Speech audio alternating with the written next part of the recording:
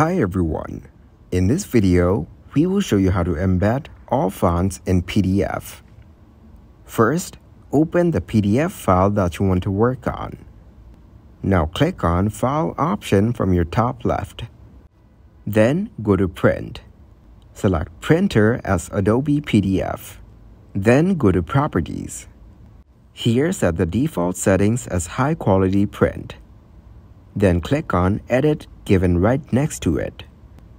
Now click on Font from your left. Make sure to check this Embed All Fonts option. Then click on the Save As option given below. Now select the folder where you want to save your file. Hit the Save button to download it. Then click on OK. After that, click on Print command. Now save your PDF file. Your fonts have been embedded. You can now open your file and use it. Thanks for watching, like the video and subscribe to the channel for more content like this.